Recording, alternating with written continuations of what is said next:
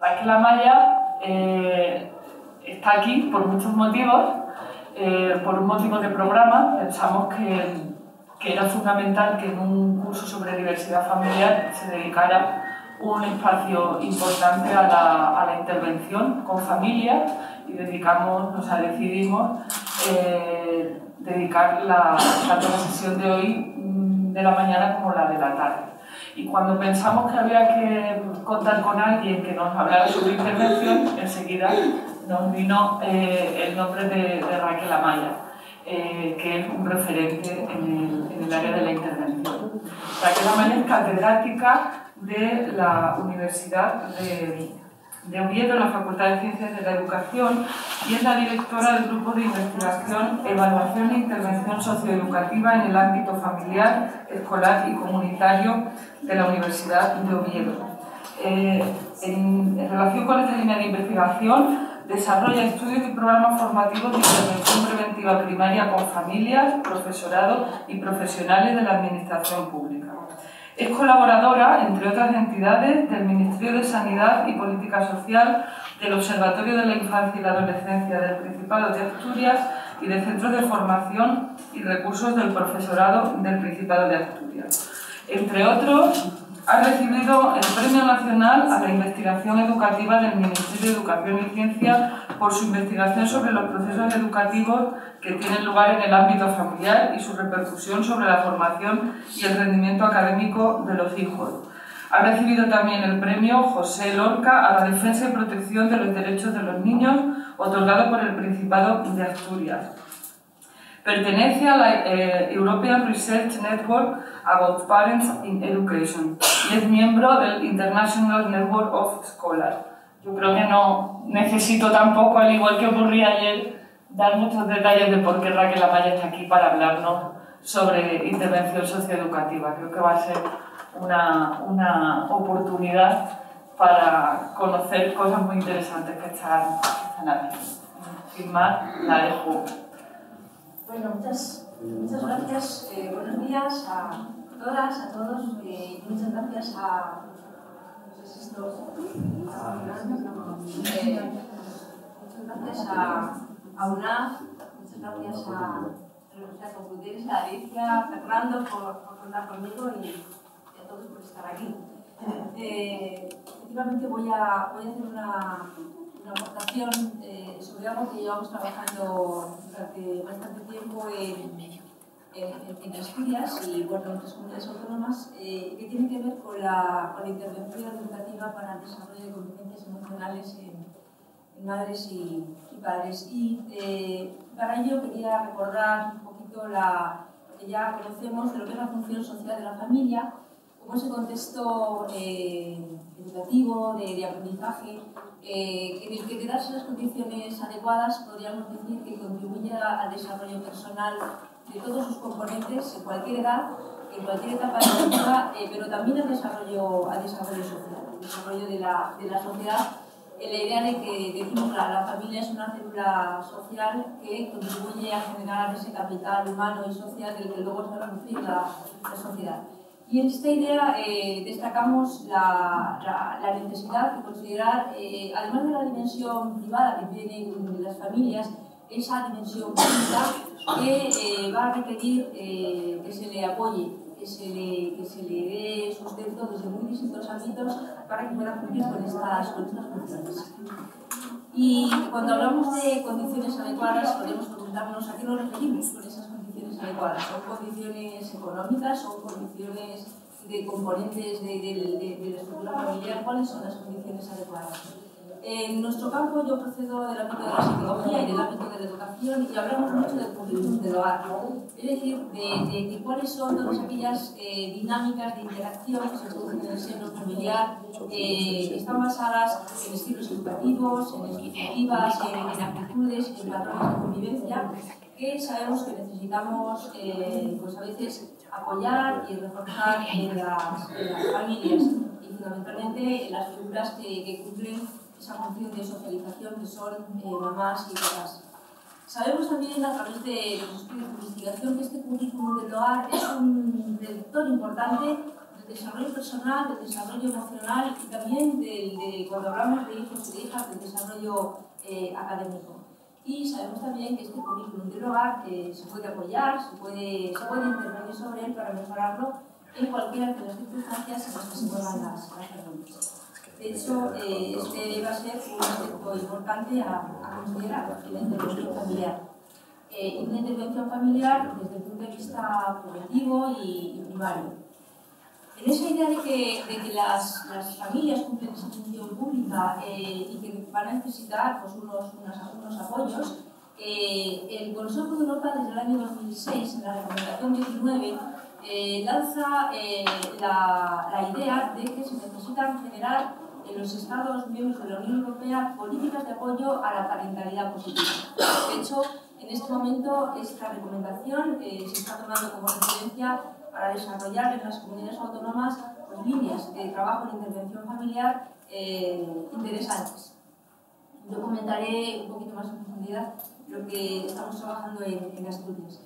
En esta recomendación se hace una referencia a lo que se entiende por parentalidad positiva, que podríamos eh, resumir en una línea eh, de interacción familiar en la que prime eh, los patrones y estilos de comportamiento de los adultos que fomenten el desarrollo integral de los niños, de las niñas, desde la perspectiva del niño, que esté fundamentalmente basada en el desarrollo de los derechos humanos.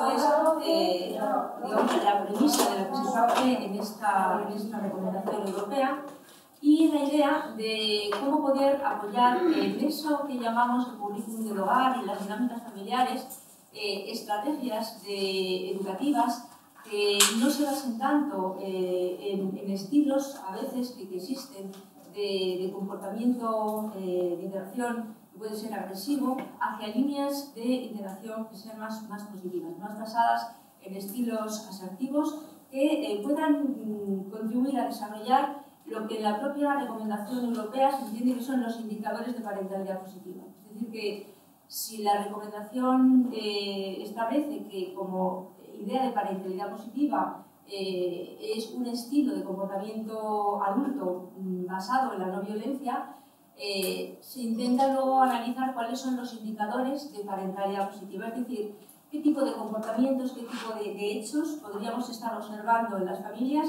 para decir que están desarrollando esos patrones curriculares en el hogar de parentalidad positiva. Aquí se establecen una, una serie de, de, indicadores como son, por ejemplo, pues lo que eh, las personas que estamos aquí ya conocemos porque entiendo que estamos todas, todos nosotros, todos nosotros dedicados al tema de, familia. Es decir, el, proporcionar apoyo, afecto, el generar espacios eh, compartidos con, nuestros niños, niñas para, para interaccionar, comunicarnos de una manera positiva, generar pues, límites y eh, consecuencias que sean razonables, eh, que sean realmente educativas, que, vayan fomentando la autorregulación del comportamiento eh, en, en, los niños, en las niñas, y que eh, en el fondo, cumpliendo todos estos indicadores, se pueda contribuir a ese desarrollo integral de, de niños y niñas, pero también de los propios adultos, entendiendo que las interacciones en el contexto familiar eh, se producen eh, interacciones que van en todas las direcciones. La cuestión es que muchas veces eh, estos indicadores de parentalidad positiva, pues muchas familias entienden que les es difícil de, de poder alcanzar. Por ejemplo, eh, pues sabemos que hay muchas personas que no tienen tiempo para interaccionar eh, en el día a día eh, con, el, con, la calidad que con, con, sus hijos, con sus hijas. A veces ni siquiera en la relación de pareja.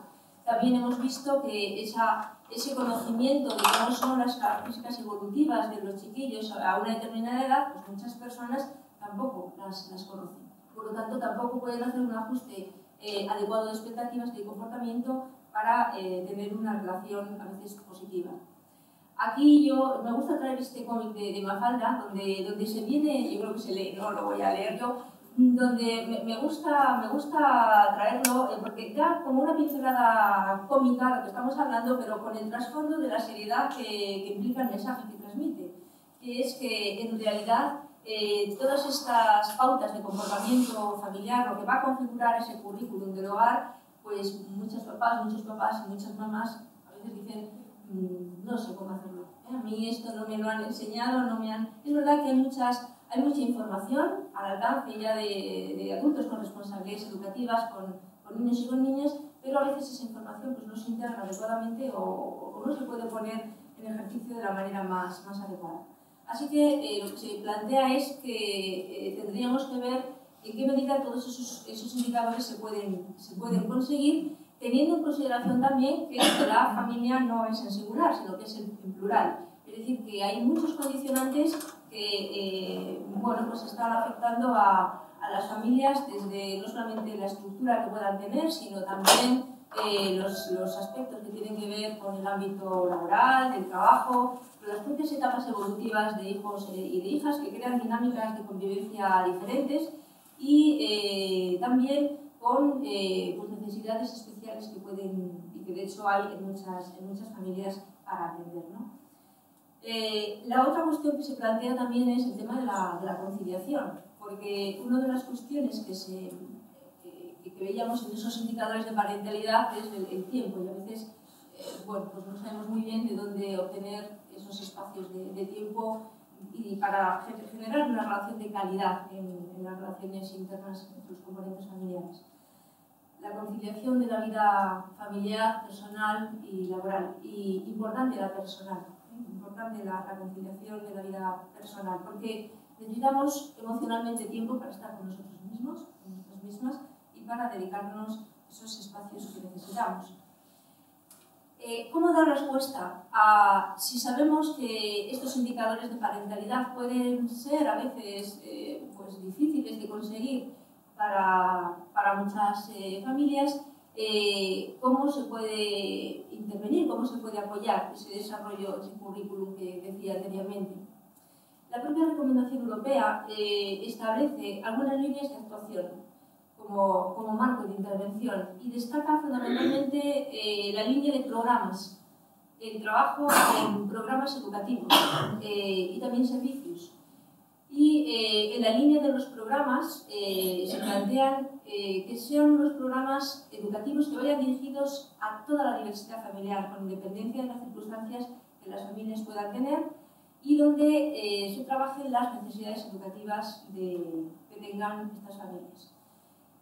Claro, esas necesidades hay que identificarlas, hay que contrastar cuáles, cuáles pueden ser y también se plantea la conveniencia de que se trabaje con metodologías de tipo grupal, eh, nosotros hemos visto, cuando hemos trabajado con profesionales del ámbito social, eh, los servicios sociales, que la línea fundamentalmente, fundamentalmente de trabajo es más individual y muchas veces está basada ya en situaciones carenciales. Aquí lo que vamos a plantear es una línea de intervención más preventiva, formativa y con una metodología grupal donde eh, pueda darse cabida a, distintas eh, circunstancias eh, familiares donde las personas tengan la oportunidad de, exponer cuáles son sus experiencias en la educación de los, hijos, de las hijas y cómo pueden aprender dentro de lo que es una metodología cooperativa entre iguales. Necesitamos para ello eh, trabajar desde una perspectiva de red, una perspectiva intersectorial, en donde pues, puedan estar involucrados mm, el sector educativo, el sector de salud, asociaciones de, muy distinto tipo, desde luego los ámbitos sociales, etc. Y cuando hablamos de programas, entonces eh, nos planteamos, desde el ámbito universitario, nos planteamos que quizás necesitemos trabajar con eh, programas basados en evidencias, es decir, que hay una línea eh, ahora clara en la que se necesita eh, digamos, desarrollar acciones que evidencien que lo que se hace es útil, es, eh, es digamos, práctico y da, y da, buenos resultados. Cuando nos planteamos esta, esta línea basada en, en evidencias, eh, pues necesitamos trabajar con la metodología de desarrollo de, de programas, diseño, eh, desarrollo y evaluación de programas. Y eh, ello va a requerir pues, que mmm, hagamos algunos estudios de investigación con metodologías eh, combinadas, cuantitativas, cualitativas, que nos permitan identificar esas necesidades para después eh, pues ver cómo podemos intervenir sobre, sobre ellas. Aquí es donde entonces eh, vamos a, a, intentar dar algunas pinceladas de, de algunos eh, resultados que vamos, que vamos obteniendo y que vamos publicando en nuestros informes de investigación y que también los vamos diferenciando en, en función de las etapas educativas eh, y evolutivas que tengan hijos e hijas porque, eh, claro, las necesidades eh, de interacción familiar mm, van cambiando. De hecho, cuando trabajamos con, con, familias que tienen niños, niñas en las edades infantiles, vemos que sus preocupaciones, sus expectativas mm, son bastante, bastante generales en lo que respecta a, a valores, actitudes, es decir, que lo que se van a plantear más como preocupaciones es que los niños sean felices, que sean buenas personas, que, que en, el, en, el, futuro tengan bueno, pues una vida digamos, personal que se puedan organizar y adaptada y eh, entienden que básicamente mmm, llevan bastante el control de la dinámica educativa y, familiar. Eh, les interesa bastante ya a estas edades eh, todo lo que va a ser el desarrollo eh, académico y, pero básicamente no se plantean, digamos, grandes demandas de, educativas y de, apoyo. Aunque hay sectores de familias que ya cuando los niños son, incluso cuando son pequeñitos pequeñitas, necesitan también apoyo para, para, ir organizando pues, todo lo que es la, la autorregulación del comportamiento en, en, en estos niños y niñas. La situación eh, cuando, cuando las familias tienen estos niños en edad infantil eh, suele ser de, de, protección, un estilo, eh, digamos, eh, un estilo de interacción basado mucho en el afecto, en la protección, es bastante positivo, pero cuando cambiamos a la etapa de la adolescencia, adolescencia, lo que ya se va viendo son estilos de comunicación que están más basados en, en el distanciamiento, a veces en los reproches, pueden llegar a las amenazas, y les, a las familias les preocupan ya eh, temas muy concretos eh, que, que, verbalizan pues, en, en, situaciones como pues, el abandono escolar, el, el, los, los, estudios, el fracaso académico o el consumo de sustancias o las relaciones prematuras, etc. Y lo que nos han dado una pista muy interesante para trabajar y es que les encantaría saber cómo educar a otras familias, porque cómo si las, los problemas y las dificultades a las que se enfrentan en el día a día son solamente de, de, de ellos, de ellas, o si realmente eh, otras personas también los tienen. Esta idea de, de contacto con otras familias eh, tiene, mmm, tiene relación con, con el... tiene relación luego con la metodología grupal que vamos a desarrollar. Y bueno, aquí um, tenemos unos datos que ya exponíamos también cuando hicimos el, una exposición en, en Santander, sobre un estudio que estamos realizando en este momento con un proyecto de IMAS de Masí, eh, en el que intentamos eh, analizar cuáles son las, eh, digamos, las, las pautas de, de la, la, la, percepción que tienen, en este caso, las mamás, también lo vamos a hacer en papás, pero todavía no tenemos el estudio comparativo, de cómo, cómo se perciben las mamás en, en cuanto a, a sus competencias personales y que van a llevar después a las relaciones a las relaciones de, digamos, con hijos y con hijas. Y eh, hemos encontrado resultados interesantes eh, en la idea de que pues, hay, hay porcentajes importantes eh, que expresan que las, las mamás tienen bueno, pues mucha implicación emocional en, la resolución de, problemas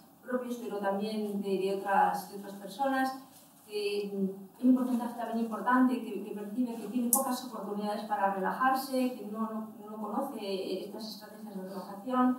Eh, también les preocupa lo que otras personas puedan, eh, puedan eh, pensar de, cómo, de cómo son, de cómo, de cómo educan. Eh, también hay un porcentaje, un 30% que me parece relevante, de que, que, que, dicen que no saben cómo decir las cosas cuando están, cuando están muy enteradas, pues sin reñir o, o que les gustaría también aprender ¿no? cómo, cómo utilizar los lenguajes, el lenguaje de, la, de las actividades, respetuoso y sin ofender.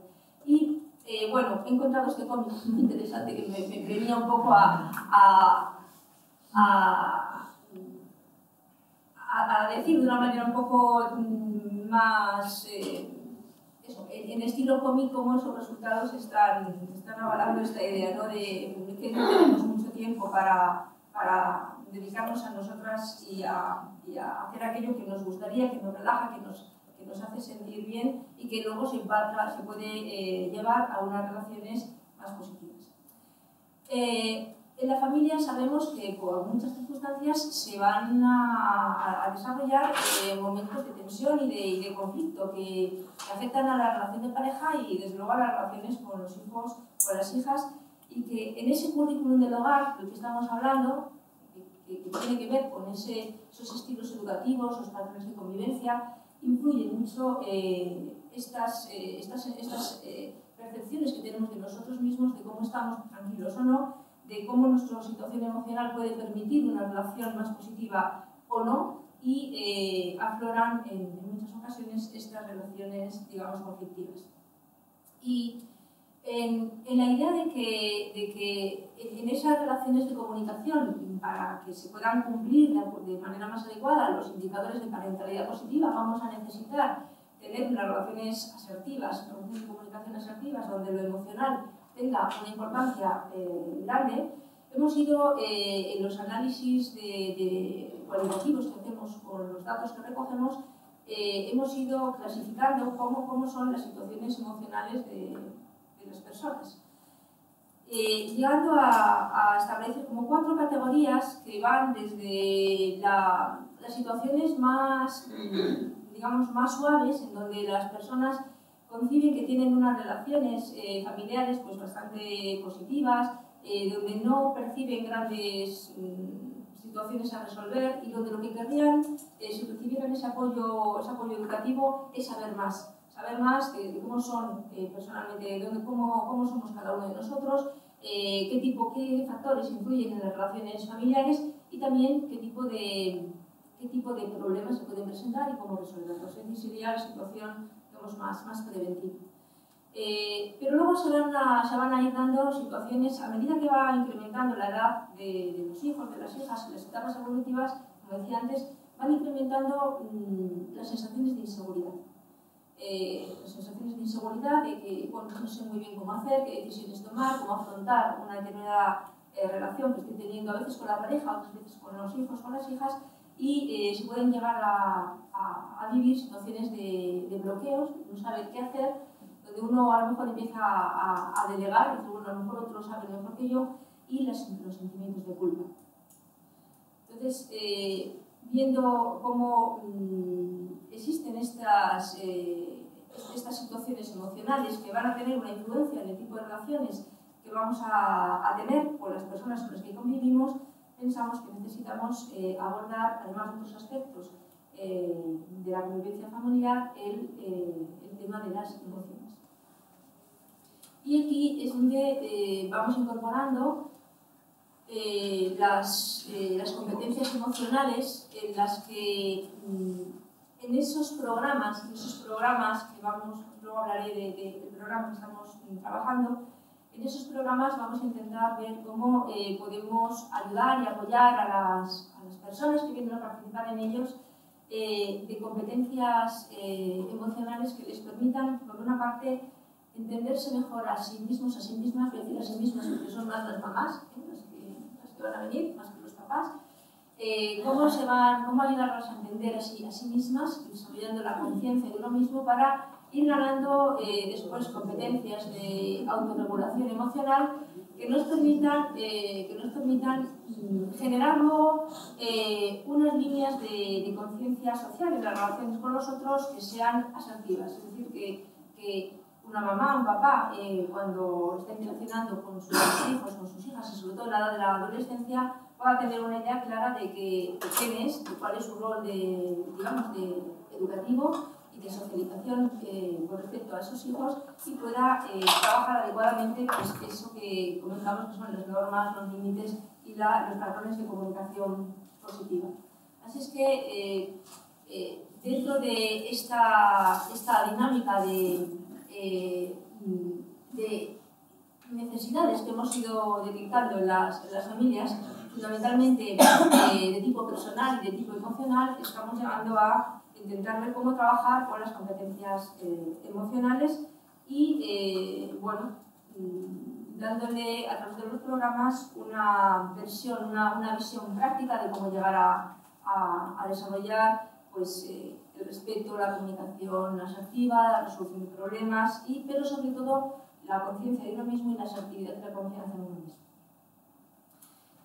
Bien, en esta estructura de programas basados en evidencias, eh, donde digamos lo que vamos detectando a través de la investigación y del análisis de necesidades son estas, estas líneas de, actuación, eh, se plantea ahora qué hacemos, cómo lo vamos a poder trabajar y de qué manera podemos intervenir. Es decir, que la identificación de necesidades eh, empírica a través de la investigación lo que hace de alguna manera o intenta hacer es corroborar lo que, bueno, desde una perspectiva ya de observación podemos ver en la, en la realidad cotidiana de, de, las familias. Pero la pregunta que surge y la pregunta más complicada es ¿qué hacemos? ¿Cómo podemos trabajar en ello? Bueno, eh, en este momento eh, nosotros en el, dentro del equipo de, de investigación y en el Principado de Asturias Estamos trabajando con el programa guía para el desarrollo de competencias emocionales, educativas y parentales, que bueno, yo llevaba trabajando desde el año, los años 90, eh, muy en colaboración con las familias, muy en colaboración con las ambas, de los centros escolares, también del, del, profesorado, y eh, que cuando surge la recomendación europea del año 2006, pues el Observatorio de la Infancia, el Observatorio Estatal de la Infancia y el Ministerio, que en ese momento era el Ministerio de, eh, de Educación y Política Social, eh, se interesa de alguna manera por mis trabajos y eh, pues, mm, me invita a, a, a, darles a conocer este programa y se acaba publicando en el año 2009 por parte del, por parte del Ministerio. Este, este programa eh, consta de, de, 12 sesiones de, de 12 sesiones de trabajo, eh, en donde la primera y la última están dedicadas a hacer evaluación, hacer evaluación inicial, eh, luego evaluación final, y va incorporando también herramientas de evaluación del proceso para que podamos hacer esos análisis luego que necesitamos incorporar para ver si las evidencias de la utilidad se van cumpliendo. Y donde lo que hay es una, digamos, la estructura de este, de este programa intenta eh, dar respuesta a lo que después yo he visto, eh, como llevamos trabajando con el programa desde los años 90, veíamos que encajaba muy bien con la línea de la parentalidad positiva y con los indicadores que se planteaban, que he comentado anteriormente, de la parentalidad.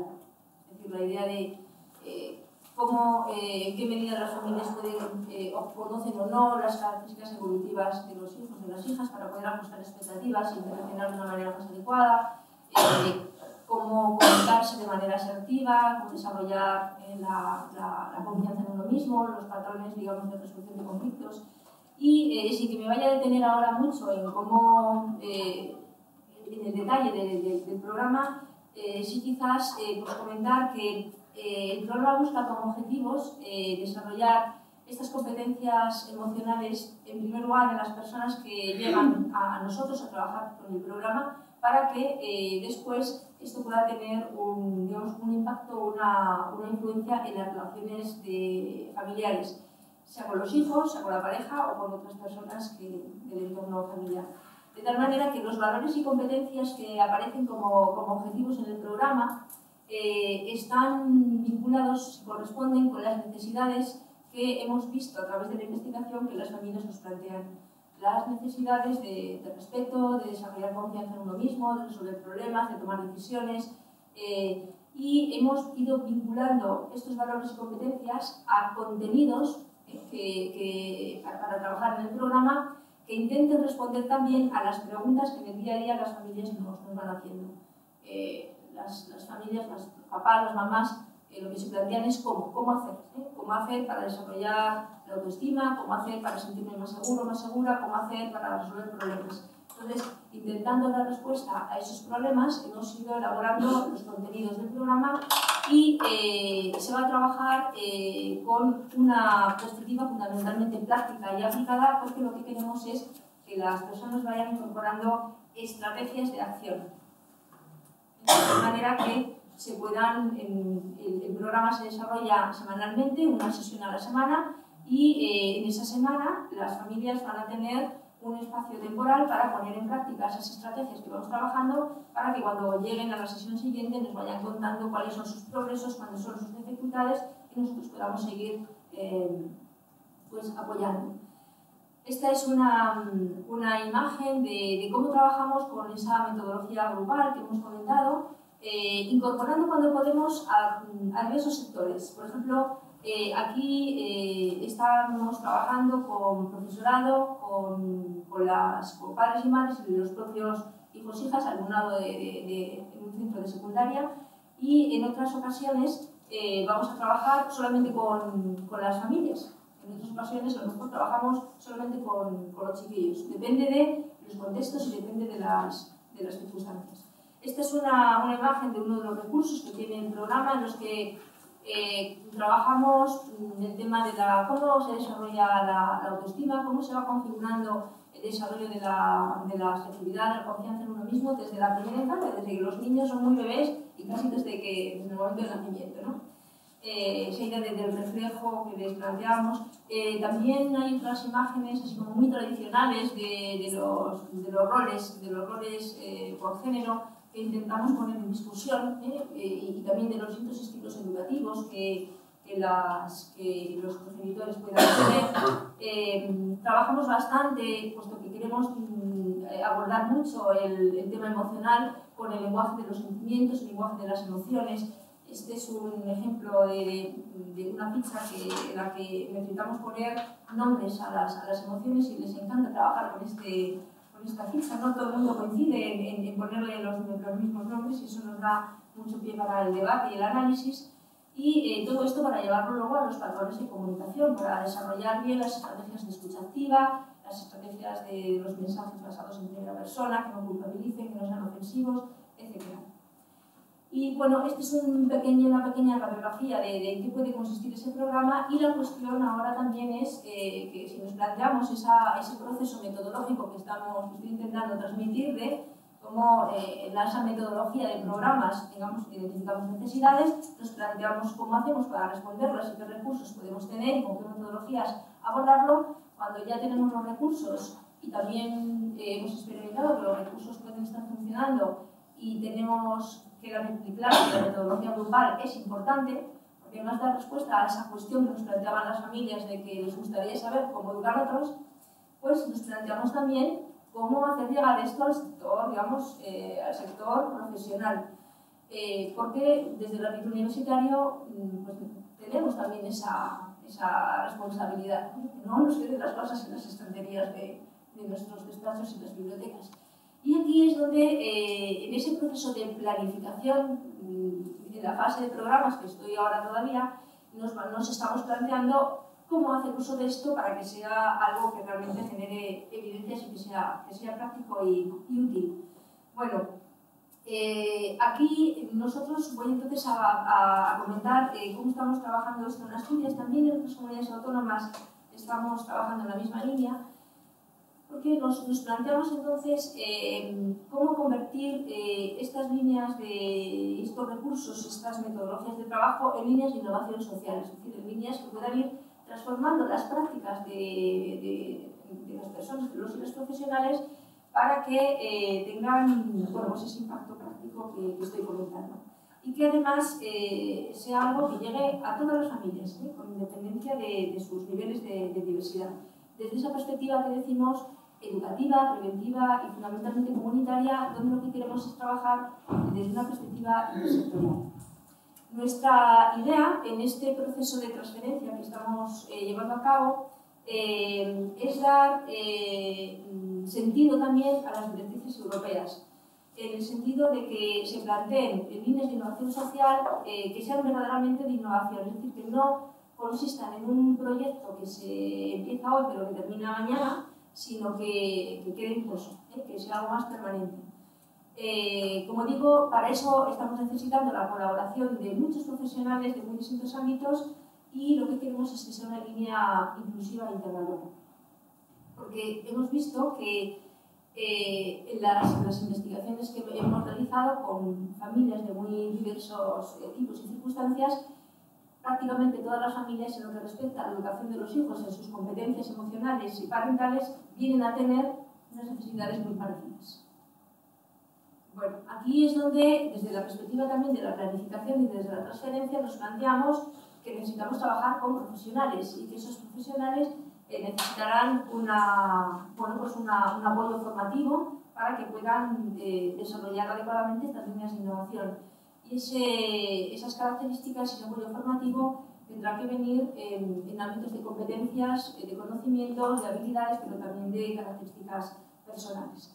Aquí eh, hay las, las, imágenes de cómo eh, trabajamos formando a los, a profesionales a través, eh, aquí en, en Asturias, quien está liderando toda esta línea de transferencia, junto con la Universidad de Oviedo, es la propia Consejería de Bienestar Social y Vivienda y eh, la figura institucional del Observatorio de la Infancia. ¿eh? De tal manera que eh, esa, ese observatorio eh, está realmente siendo muy dinámico en llevar todo esto a, a cabo y trabajamos muy en coordinación con, con la universidad.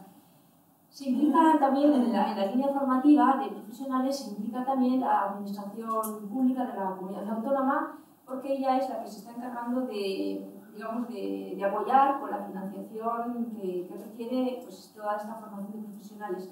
Llevamos haciendo formación de profesionales desde el año 2007, periódicamente todos los años. Todos los años se forman unas 30, 40 personas que inicialmente estaban vinculadas solamente a servicios sociales con la idea de que no era una formación por la formación, ni lo sigue siendo, sino que es una formación para la intervención. De tal manera que eh, esa intervención, la, esa, esa, formación para la intervención, inicialmente en los primeros años, 2007 hasta 2009-2010, se centró fundamentalmente en profesionales del ámbito de los servicios sociales. Pero eh, en este momento eh, se está ya pues, abriendo también a profesionales de otros ámbitos. Y estamos eh, trabajando mmm, ya muy en, bueno, en coordinación con el sector educativo. Es interesante decir que el programa del que estoy hablando, eh, cuando yo lo iba elaborando desde la práctica con esas AMPAs de las que os comentaba, eh, surgió del ámbito escolar, del ámbito académico, es decir, desde una perspectiva, digamos, muy comunitaria y muy de, muy de prevención primaria. Eh, sin embargo, eh, como línea de, de, innovación y de intervención permanente, en el ámbito académico no se ha sostenido tanto hasta que no lo hemos eh, vinculado a los servicios sociales. Es porque desde servicios sociales eh, existe la, la, expectativa clara de que trabajar con las familias es, es realmente una, una, una, función fundamental. Bien, entonces eh, la, la, idea es que para, para, llevar a cabo estos procesos de, de, innovación social no vamos a poder hacerlo desde una única entidad, una única institución, sino que vamos a necesitar todo ese apoyo eh, intersectorial y, y, también multidisciplinar de distintos profesionales, donde se involucran también profesionales de la, de la salud, en fin, como digo, de, ámbitos eh, diversos.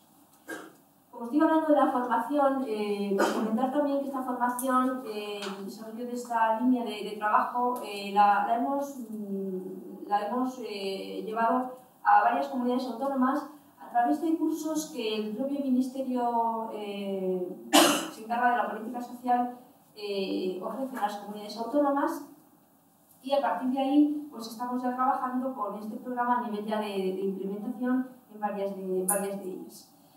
Eh, una vez que hemos visto necesidades, que hemos visto cómo planificamos esta, esta intervención y con qué herramienta, pues hablar de la, de la aplicación. Eh, en Asturias, eh, una vez que, formamos a, a, estos profesionales o, y a estas profesionales, lo que, lo que hacemos es intentar llevarlo al ámbito municipal, donde están las familias, donde, digamos, donde, donde interaccionan y donde realmente mmm, los y los profesionales conocen a esas familias.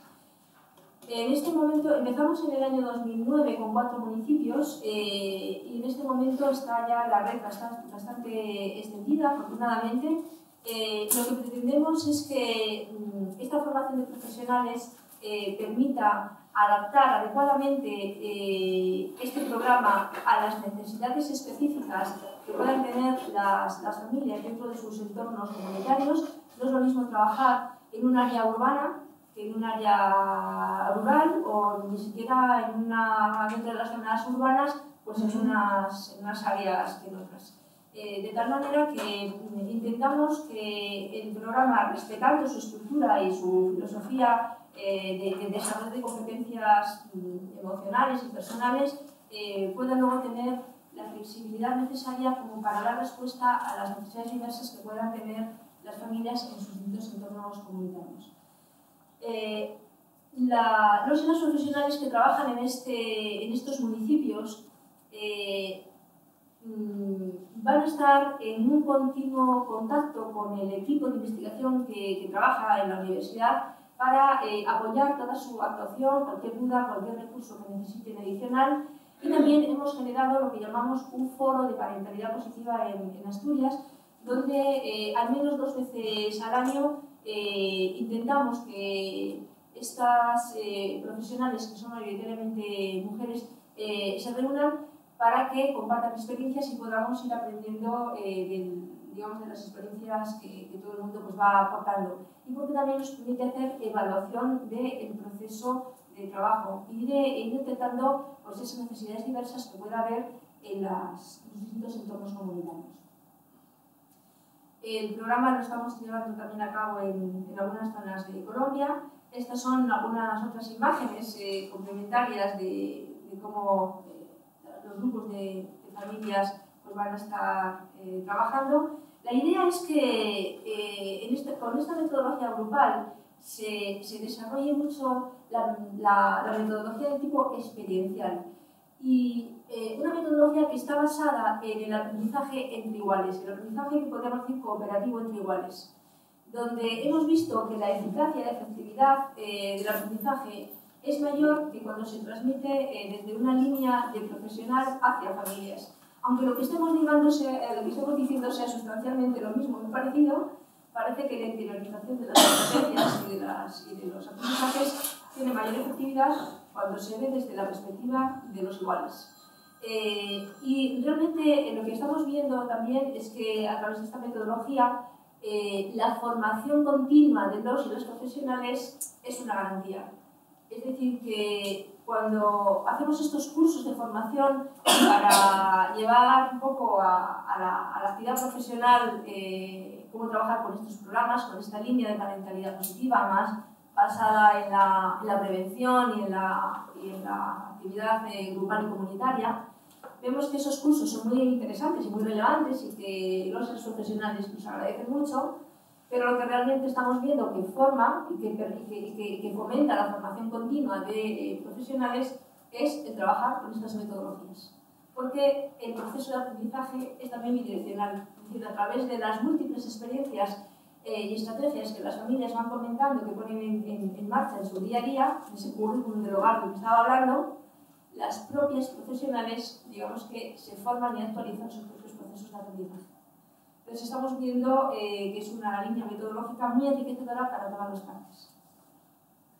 En estos grupos de, de familias eh, intentamos, ya que estamos trabajando con metodología grupal y que lo, y lo que pretendemos es que llegue a toda la diversidad familiar, los grupos se configuran, a ser posible, con familias que tengan distintas situaciones de diversidad.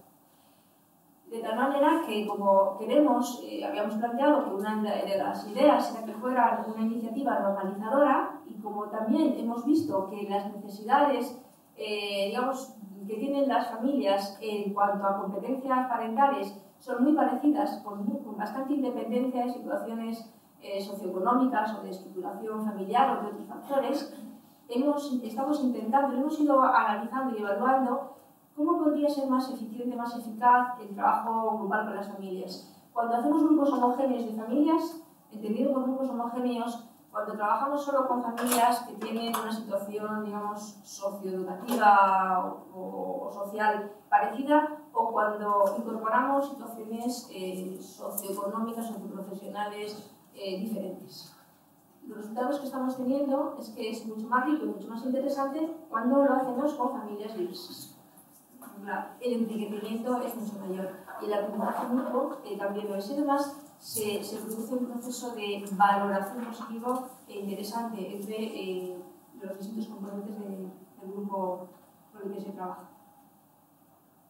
Bueno, algunas de las ideas que ponen en esas pantallas, la idea de que, es importante las soluciones se dan muchas veces con el compartir, eh, que, que, necesitamos habilidades de comunicación, todos somos diferentes y diversos, en fin, se, se analiza mucho todas eh, estas ideas. Esta imagen es para representar que, aunque tenemos papás, la mayoría de las personas que participan siguen siendo las mamás. Y nosotros estamos trabajando un poco eh, en, esta línea y es uno de los retos, una de las, una de las dificultades que todavía pues, tenemos para plantear. Y la perspectiva esa de género que queremos, que queremos eh, ir incorporando, cómo la podemos ir trabajando. También tengo que decir que los estudios de investigación que estamos haciendo cuando vamos mm, digamos, lanzando la, eh, llevamos las entrevistas o los cuestionarios que aplicamos para ir recogiendo la información que nos dan, pues hemos visto que muchos casos se están contestando también. Que, estamos planteándonos que quizás eh, no es solamente la idea de que si no participan tanto los papás es porque no quieren, sino que a lo mejor nosotros también tenemos que ver qué líneas y qué estrategias de, digamos, de, llegar a ellos podemos ir desarrollando. Son cuestiones que nos vamos planteando continuamente pues, con, con el tiempo. Bueno, eh, con respecto a la, a la evaluación, este es un punto importante porque si es un programa basado en evidencias necesita, necesita tenerlas. ¿no? Eh, aquí eh, lo que nos planteamos es cómo incorporar diseños de, de evaluación de programas que nos que nos generen eh, digamos, estos resultados, ver por dónde vamos, que tenemos que seguir aprendiendo y por dónde seguir avanzando. Así, eh, el programa eh, ya va, va, incorporando, como decía, incorpora, incorpora sus herramientas de evaluación inicial, de proceso, evaluación final, y por lo que respecta a la evaluación inicial y final, pues vamos elaborando diseños de evaluación preexperimentales, que queremos que lleguen a ser ya eh, al menos pues, experimentales con grupo de control, y donde vamos viendo, por una parte, pues, esas competencias que decimos que, queremos trabajar, por una parte lo que son las competencias puramente personales, emocionales que tiene, que tiene cada persona, porque esas competencias eh, emocionales personales son luego las que se van a llevar a las relaciones interpersonales con la pareja o con hijos e hijas en, en esa dinámica familiar. Y eh, nos interesa mucho esta línea de cómo construimos primero a la persona, emocionalmente a la persona, para que luego podamos construir una dinámica familiar que pueda ser positiva. En esa línea, eh, bueno, pues los resultados nos van indicando eh, ganancias en las competencias de, de, autorregulación. Esto está bastante clara, la competencia de autorregulación, cómo se va, cómo se va digamos, generando. Las competencias de, comunicación y de, resolución de, conflicto, las de asertividad y autoestima, eh, que son mm, básicamente, habíamos visto aquellas competencias que veíamos que podrían estar faltando en los estudios de investigación que vamos realizando. Por lo tanto, bueno, pues con ánimo seguimos avanzando en esto, eh, de tal manera que este primer bloque de competencias, digamos, más personales, queremos ver luego cómo eh, se pueden estar mm, bueno, pues llevando también a las relaciones ya con, con, hijos e hijas. Y aquí lo que vamos viendo es que eh, sí que nos van comentando los resultados, nos van dando mm, pautas significativas en lo que es el establecimiento de, de límites, de, de conflictos, de, comunicación más basada en ese estilo más asertivo, no, no tanto en el agresivo, eh, y eh, sobre todo la contribución al, desarrollo de la, de la, autoestima en los hijos y las hijas.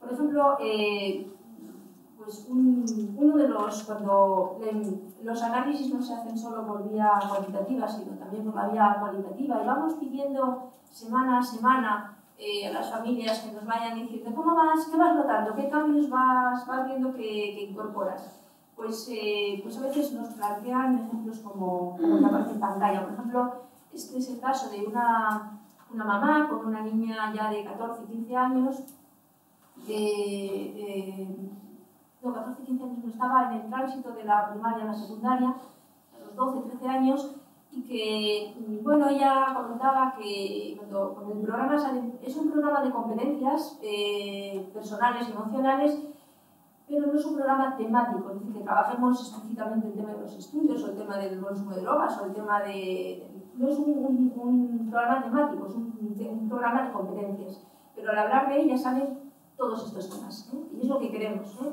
que se base en competencias transversales y que luego los temas los vayan planteando las propias, las propias personas. Entonces, eh, como uno de los, uno de los eh, las grandes preocupaciones que tienen en este tránsito de la adolescencia, adolescencia, de la primaria y la secundaria, es el tema de los estudios, pues un ejemplo eh, concreto es que esta mamá mm, estaba, eh, ella como muy preocupada eh, por ayudar a su, a su hija en, a estudiar. Y todos los días, cuando llega la niña de, del colegio, pues ella se pone a hacer, los, a hacer el seguimiento de los estudios pero eh, notábamos en, el, en el, la participación en el programa que no es que fuera una implicación sin más, sino que ella realmente se ponía a resolver las tareas de la, de la hija. Entonces estaba eh, generando una, una, una, sensación ya de incapacidad, porque la niña ya tenía que, que trabajar sobre una serie de, de, contenidos y herramientas a las que ella veía que ya no podía llegar. Entonces le, le generaba incompetencia, inseguridad y no sabía muy bien cómo, cómo abordar esto. ¿no? Entonces, cómo, cómo vamos a ir eh, digamos, delegando las responsabilidades de nuestros hijos desde que son pequeños para que, para que se sientan también capaces, útiles y responsables, es una cuestión que, que, que necesitamos trabajar. Y bueno, pues ella iba viendo cómo eh, tenía que vencer la frustración que le suponía el, el, no hacer por su hija aquello que ella creía que tenía que hacer, de desprenderse, de estar tan en contacto con, con su hija, eh, pero también la motivación que le causaba ver que la chiquilla iba siendo capaz y que además los problemas que la niña iba teniendo en el colegio, porque ya se le estaba identificando a la niña como que tenía problemas de atención en el colegio. Como la niña tenía la ayuda en casa, pues para qué iba a atender en una clase, de tal manera que ya la niña no atendía, la niña estaba desmotivada y, en fin, era una situación que había que ir resolviendo. Bueno, eh, digamos que en lo que nos van comentando entonces es que se van ganando eh, competencias en, en, los hábitos que, que realmente queremos y que, y que, vamos, esto no es un proceso que digamos, bueno, lo hacemos muy bien y fenomenal y qué bien, qué bien está resultando esto, sino que es un proceso que vamos eh, desarrollando con los años, con mucho análisis, con mucha investigación y que vamos perfeccionando poco a poco. Y que, bueno, pues en el momento actual sí nos está dando ya los resultados que, que se pretenden algunas, algunos comentarios ya más cualitativos y también un poco el, el cómo valoran la, la, experiencia. De tal manera que lo que realmente les gusta y nos siempre constatamos es la, la importancia de, de, compartir, la importancia de, de, que tengan espacios para compartir. Algunas personas eh, pues llegan a comentar que de estos temas nunca hablan con nadie, Dice, ni siquiera con la, con la pareja. Pues, bueno, es, un, es un espacio donde por lo menos alguien te escucha. ¿eh? Vienes y compartes y escuchas y ves que no lo estás haciendo tan mal a veces como uno a veces se, se plantea. Y también eh, lo, que, lo que valoran, como decía mucho, es el papel de las profesionales y de los profesionales que trabajan en ello. Y eh, es interesante ver la idea de la autoestima, cómo la idea de la autoestima está siempre presente, que nos levanta la autoestima porque es verdad que en los estudios de, de, de, de, análisis de necesidades se ve la baja autoestima, esa idea de inseguridad que decíamos antes, esos sentimientos a veces de bloqueo, de que no sé qué más hacer, o los de culpa. Y eh, la idea también de que nos ayuden a respetar a nuestros hijos. La idea pues, nos lleva un poco a, a, cerrar ese círculo que decíamos antes de qué es la parentalidad positiva, eh, es, eh, que son patrones de comportamiento y de interacción familiar basados en la no violencia, en el desarrollo de pleno de, de, de los hijos de las hijas y, y que, que, tiene que pasar por, previamente por el desarrollo previo de uno mismo. Si no, es muy difícil que uno luego pueda transmitir esto a las relaciones familiares. Bueno, eh, como no todo es perfecto, claro, tenemos todavía muchas cosas que, que hacer y que aprender, pues también eh, tenemos estas limitaciones que, que, abordar. Y bueno, una de las que ya he comentado una de las limitaciones que, que, por mucho que, claro, aquí queda mucho por decir, de, de cómo hacemos la difusión, cómo se implican las instituciones en, en el apoyo, cómo se implican las concejalías, pues, todos los centros escolares, eh, las asociaciones que hay en, en, los entornos comunitarios.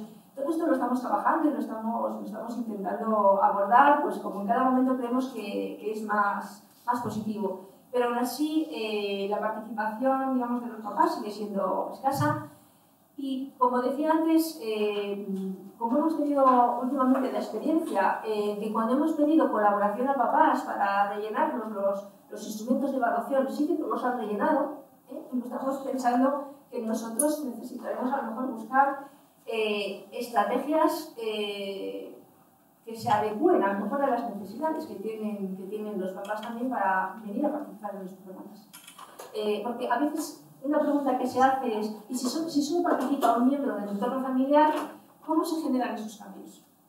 pueden ser más, más costosos, porque y efectivamente es así, no sería conveniente que participaran, como veíamos en una lámina anterior, no solamente los papás o las mamás, incluso los hijos, las hijas, eso es lo que, lo que sería interesante, pero no siempre las posibilidades de las familias ni el interés a veces hace que vengan todos los componentes de la unidad familiar. Por lo tanto, eh, necesitamos ir abordando estas otras eh, cuestiones. También sabemos que a través del fortalecimiento personal se van generando patrones de asertividad y de comportamiento asertivo que hacen que eh, ese nivel de influencia que cada persona tenemos con respecto a los demás vaya generando los cambios, aunque solamente venga una persona a participar en el programa.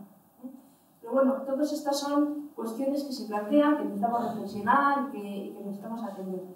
Y eh, la idea también de la dependencia se genera dependencia mm, de los participantes y las participantes en el programa con respecto al propio programa y con respecto a los, a los y las profesionales.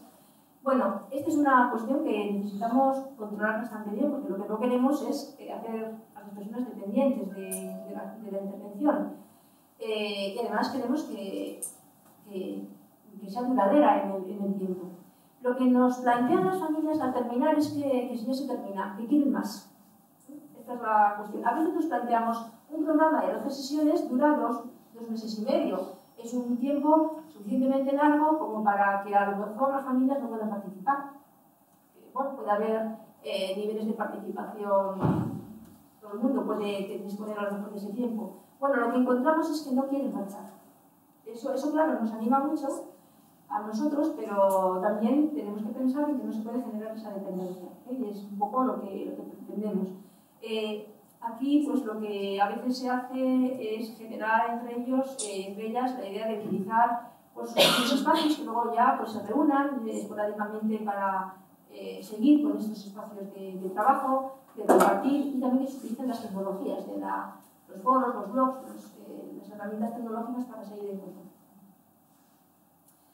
Eh, bueno, un aspecto también interesante que abordamos es la difusión de la experiencia, donde eh, pues cuando hacemos las jornadas del Día, del día de, la, de, la, de, la, Familia, de las familias, o, o en noviembre cuando trabajamos eh, jornadas sobre infancia, pues eh, invitamos a las personas que han participado en el programa y a, profesionales que cuenten ¿no? la experiencia y la, la vayan entendiendo. Y aquí es donde van ellos y ellos comentando eh, esos indicadores, esos cambios que han visto en, las dinámicas familiares. Pues procesos a lo mejor de, de, separación que estaban siendo conflictivos y que, bueno, pues eh, trabajando las, eh, las herramientas, digamos, de, asertividad, de comunicación, de, seguridad personal van siendo pues menos, menos problemáticos, eh, el, los eh, fracasos escolares, etc. Es una imagen de, de los blogs que, que tienen allí. Eh, este, bueno, yo lo pongo aquí, es una, donde narramos la experiencia ya en el año 2010 en Asturias. Y bueno, no mucho más porque también la atención tiene su, su límite. Muchas gracias.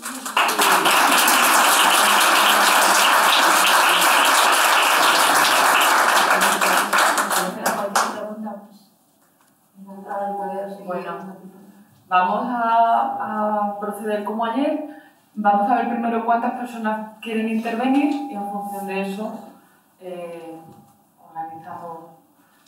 ¿Cuántas personas van a hacerle preguntas? Bueno, pues yo creo que vamos como ayer de tres en tres. Eh, intervenir primero en este lado y que vamos empezando. Buenos días, profesora muchas gracias por la intervención que ha sido muy extensa, muy amplia y sobre todo nos ha mostrado la enorme labor que se está haciendo allí en, en Asturias y la red tan amplia que se está, que se está extendiendo. Me, me, me voy a fijar, bueno, soy Fernando Izaguirre de la Universidad Complutense y del Colegio de Sociólogos. Me, me ha llamado mucho la atención esa dimensión grupal que se está introduciendo en las metodologías quería compartir y al mismo tiempo eh, preguntar eh, para ver las similitudes de cosas que, que, estamos empezando a hacer nosotros a partir de, de unos desarrollos que se, han, que se, han, hecho en la Universidad de París 7, a, eh, a partir de Vincent de Goljac, de Jacqueline Baruch Michel, de una serie de psicólogos y sociólogos que se inscriben en, en el enfoque de la sociología clínica y la psicosociología y que eh, lo, que, lo que aportan, no, no, en realidad no hay, no hay nada nuevo, no, no, es una nueva teoría, pero sí es una nueva perspectiva en tanto en cuanto combina teorías, metodologías, epistemologías que existían ya, pero que ahora se están recuperando en función de los problemas que se están queriendo atender y que requieren, pues, eh, digamos, más información, ¿no? que siempre se nos está viviendo. Entonces, estas metodologías, por ser muy breve, digamos, lo que, lo que tratan es de dar la palabra a las personas a las que queremos dar autonomía, a las que queremos, eh, digamos, ayudar a proceder el cambio. Y en ese, en ese dar la palabra lo que se está buscando es eh, que haya una búsqueda de sentido de las situaciones. Eh, se utiliza, y voy a poner un ejemplo muy concreto, que yo voy a utilizar precisamente la semana que viene, en un curso que es la segunda edición que hacemos en el Colegio Sociólogos, que es de Sociología Clínica y de Análisis de Conflictos Familiares, a través del teatro del oprimido de, de Paulo Freire, que es algo que tiene muchos años, tiene ya más de 40 años, pero que, que se está aplicando ahora para precisamente permitir dar la palabra a las, en este caso a las familias que formamos con los propios alumnos. Todos conocemos problemas familiares, con lo cual, digamos que la casuística es muy rica. Eh, y ese proceso de, de, de, búsqueda de sentido eh, lo que va a producir es, digamos, una mayor comprensión de las situaciones, eso permite un cambio de percepción, entonces llegamos a algo que, que, que casi, que casi ha, has utilizado y que en Francia lo, lo, lo nombran como construcción de conocimiento. Entonces, se produce una construcción de conocimiento desde la propia persona no es el animador, facilitador o el profesor el que dice, mira, tenéis que mirarlo de esta otra manera, sino que la propia persona esas técnicas de búsqueda de sentido de emergencia de conocimiento son ellos mismos los que toman conciencia de una nueva cosa que descubren ellos. Y entonces eso produce, eh, digamos, la posibilidad de, cambio a, través de su propia toma de conciencia. Entonces, bueno, es compartir un poco eh, esta experiencia que estamos celebrando. Hemos hecho ahora también un diploma de sociología clínica donde hacíamos lo mismo pero para organizaciones, donde analizábamos situaciones no de conflicto familiar, sino de conflicto en, en organizaciones, en empresas. Y estamos empezando a formar ese tipo de metodologías, pero me parece que nos estamos, o sea, que, que está cerca de lo, que, de lo que estáis haciendo. Nada más, muchas gracias. Espera, vamos a hacer. Bueno, primero decir que me ha gustado un montón y que me ha servido también para las ideas porque estoy de voluntaria en una asociación de un barrio de Madrid y trabajamos tanto con niños, en este caso más pequeños, pues estamos tratando con niños de 4 a 11 años y con las familias. Lo que pasa es que yo creo que vosotros lo habéis tenido todo un poco muy fácil, por decirlo de alguna manera, porque nosotros tratamos de un, un, poco mostrar a las familias porque vemos problemas que están surgiendo pues, en el barrio, entre ellos, se les aconseja que hagan cosas o se hacen talleres para ellos y falta mucha de su parte. Entonces, hay veces que nos preguntamos dónde está, es decir, vamos a tratar de seguir, seguir, seguir, pero es que claro, no vemos a veces la respuesta de ellos, entonces no sabemos de hasta qué punto hay que seguir insistiendo, decir, bueno, pues vamos a, a cortar o, o, a ver qué hacemos. Era, esa es la pregunta. Había otra cuestión ahí. Hola, buenos días. Eh, bueno, Raquel, me ha gustado mucho tu exposición. Además, eh, desde nuestra asociación trabajamos en esa línea mucho, en trabajar eh, con desarrollar competencias emocionales en la línea de inteligencia emocional eh, sí que trabaja, trabajamos con una metodología eh, que, se, que se trabaja en UNAF, que es el coaching familiar, que es una herramienta que se llevan las familias a su casa para trabajar eh, pues con objetivos que, que, o con planteamientos que salen a futuro. Entonces, al final lo que se llevan es un proceso de aprendizaje. No les decimos lo que tienen que hacer, sino ellos mismos y ellas mismas, digo ellas porque por desgracia son todas mujeres las que asisten a nuestros cursos, eh, bueno, pues se llevan ese, ese aprendizaje y, y, y, es una solución, es una metodología muy práctica que, que hemos empezado a aplicar a ese entorno familiar y, y parece que, que, va funcionando, ¿no? Pero estamos ahí en el principio. Entonces, bueno, eso es una idea y ahí, ahí trabajamos. Yo quería profundizar un poco y sobre todo ver tu, tu experiencia en el tema de, de los padres, porque a mí me preocupa mucho, no solo como profesional, sino como madre, cuando llego a mi casa y me encuentro a mi pareja que no trabaja esta línea. Entonces, eh, aparte de que me lo plantean en el curso, digo, ¿cómo, cómo puedo hacer yo? Porque si eh, el, el, cambio interior es muy fuerte y al final provocas, eh, o sea, es un poco como lo que dice Gandhi, ¿no? Es el cambio que quieres ver en el mundo, pero eso es eh, muy corto. El que no quiere cambiar no cambia. Entonces, eh, me preocupa mucho porque no solo tengo un conflicto con mi hijo, con la sociedad, con el entorno, con mis padres, con, o sea, no, un, un conflicto interno en mi casa. Quiero decir, yo y las madres que asisten a nuestros talleres. Entonces, si me puedes contar cosas, experiencias claves, yo, vamos, te lo agradecería. ¿Vale? Gracias. Eh, creo que la siguiente intervención está muy relacionada con, con esta. Sí. ¿Te parece? Sí. Y luego ya contestas. Sí. Bueno, eh, muchas gracias Raquel. Eh, dos cosas, eh, una con la intervención anterior y otra, el convertir experiencias individuales, yo llevo trabajando con familias en esta metodología sin un aporte de investigación detrás, convertir experiencias individuales en experiencias de programas y de programas comunitarios me parece un logro y bueno, déjame haber dejado loca, ¿no? Porque creo que te había visto alguna vez en Asturias, me parece una ponencia vuestra, y me parece que es alucinante. Es decir, que la universidad no se quede en las estanterías y ayude a todos los profesionales que trabajamos día a día sin una cobertura de programa, me parece interesante a mí. Mi experiencia se queda en mis minidad con mis compañeras de equipo y ¿no? Yo trabajo con familias con discapacidad y te puedes imaginar. Me ha gustado mucho lo de los grupos heterogéneos porque casi nosotras trabajamos con grupos homogéneos con niños con discapacidad. Todas las familias confluyen en este tema. Nos cuesta mucho convocar a familias con niños que no tienen eh, estas dificultades. ¿no? Y bueno, pues un poco eh, en qué línea podrías orientarnos para que estas individualidades pudiéramos no solamente esperar que alguien de la universidad nos llame, sino cómo podríamos nosotros invitar a la universidad para que nos llame, ¿vale? Esto es por un lado.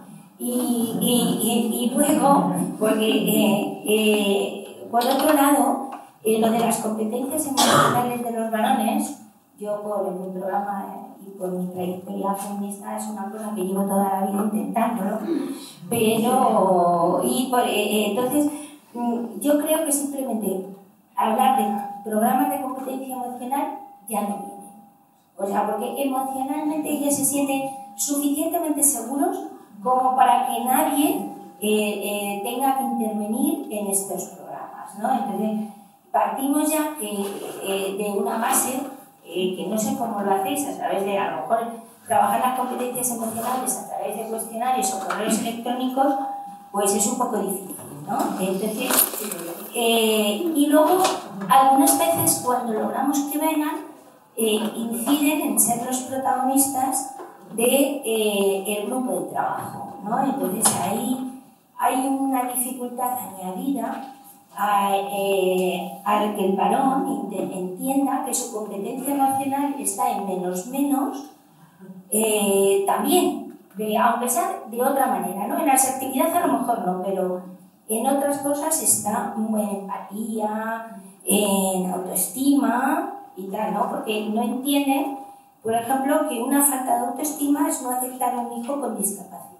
Yo llego a tener conflictos de separaciones porque el varón no acepta y no tiene expectativas ante un niño con discapacidad. ¿no? Entonces hay cantidad de rupturas. Yo mm, algún día cuando me jubile a ver si hago una investigación de la cantidad de familias que se han roto por tener un hijo con discapacidad. Bueno, pues un poco en esta línea, ¿no? cómo eh, establecer otros programas en donde el varón pueda incorporarse y cómo llamar a la universidad para que estas individualidades y estas experiencias que ya están se puedan recoger. ¿Vale? Si te parece, que contestas a las preguntas sí, y luego seguimos. Si se me olvida algo, me, recordáis. bueno, el tema de, de, las metodologías grupales y la importancia que, que, estas metodologías tienen para dar protagonismo a, a, las personas que participan y que, y que construyan su propio aprendizaje. Esta es la, la cuestión. Eh, yo creo que no, como decíamos antes, el, el, proceso de interiorización de aprendizaje, de estrategia, de, de de eh, la representación que uno hace de sí mismo y cómo te sitúas ante, ante nosotros, la vas ganando eh, cuando eres capaz de, de, expresar. Uno expresa utiliza el lenguaje, uno va ordenando ideas, va, va visualizando y también cuando lo puedes contrastar con las experiencias de otras personas. Entonces, la metodología de grupo, eh, nosotros, yo lo incorporé en el programa porque las personas me lo plantearon os decían en la revisión de necesidades, ellas decían, ¿cómo hacen los demás? Entonces, ¿cómo hacen los demás? Pues hay que ponerlos en contacto unos a otros.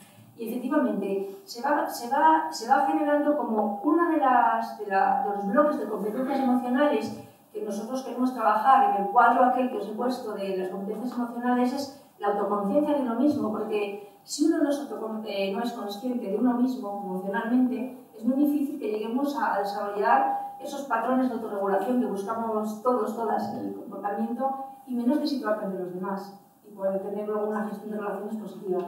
Entonces, ese proceso de autoconocimiento, de autoconsciencia, se va haciendo a través de eh, el, el, proceso de interacción entre, entre otros y sobre todo entre iguales y con la verbalización. Es muy importante la verbalización.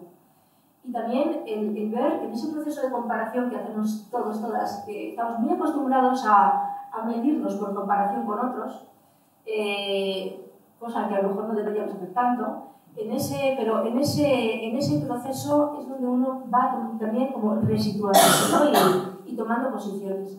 Y pues eh, es así, es la, la construcción de uno mismo, pasa por la autoconsciencia, pero la autoconsciencia hasta que no verbalizas las cosas, las compartes, te resitúas con respecto a otros y con respecto a ti mismo, no, no ganas en, en capacidad luego de gestión.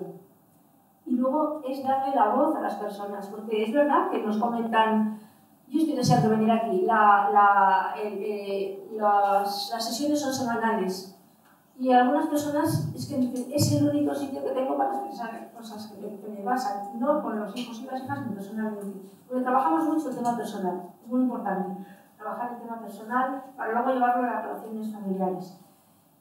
Y bueno, eh, si en otros espacios no hay oportunidad para, para esto, este le sirve. Y a veces con eso ya, digamos, ya hemos hecho mucho. ¿no? La idea de que, bueno, eh, cuando las personas dicen, al menos veo que no soy tan distinta a las otras personas, eso en esa línea terapéutica que tú comentas actúa de esa forma. Y va liberando tensiones, las va rebajando, y cuando las familias, algunas familias verdaderamente llegan con mucha angustia, con mucha, mucha presión emocional, entonces cuando se sitúan en un espacio compartido, eh, esa tensión emocional la van reubicando, la van, la van bajando y también entonces empiezan a, a, a sentir que pueden, digamos, razonar mejor. Entonces, cuando se genera la autoconciencia y ese conocimiento práctico es fundamental. Lo decimos para las propias familias, el conocimiento práctico, que es el que aprendemos más a lo largo de la vida, pero también para las personas que, gestionan todo la, el desarrollo del programa. Por eso decía que cuando trabajamos con, este, con esta línea de trabajo, significa no solamente algo positivo para quien lo recibe, sino también para quien lo imparte porque también se va generando ese conocimiento práctico, de tal manera que ese foro de parentalidad que os comentaba, que vamos construyendo y que supone que nos reunamos al año al menos dos veces para, para compartir entre profesionales, para evaluar cómo van las cosas, eh, eso es lo que va permitiendo este, este, esta puesta al día y ese conocimiento práctico que nosotros luego podemos ir relatando en los informes que hacemos. El conocimiento desde la práctica, conocimiento que se va generando desde la propia actuación y que lógicamente se tiene que completar con formación teórica, que es muy importante la formación teórica, y contrastarla, pero mm, no partir solo de la teoría, porque si no, luego a veces las teorías están en un nivel y la práctica nos lleva a otro. Entonces, yo creo que mi línea ha sido mucho trabajar desde la investigación desde la perspectiva metodológica de la investigación entendiendo que ahí es donde, digamos, donde tenemos que, entender cuáles son las necesidades de, los colectivos, de, de, los, de los que hay en cada, en entorno social y cómo luego eso le, le, vamos dando sentido desde las teorías. Y bueno, tienen que ir de la mano las dos cosas, pero el conocimiento práctico es fundamental. A mí me lo parece yo comparto contigo. Mm, tu línea de tu pregunta era eh, cómo hacemos para que esto no, no quede en una experiencia que se me ocurre hacer una vez y que luego a lo mejor tengo que terminar y que yo creo que la podemos relacionar con la tuya también. O sea, realmente nosotros llevamos, bueno, yo no tanto porque yo es un poco nueva, pero la asociación ya lleva muchos años.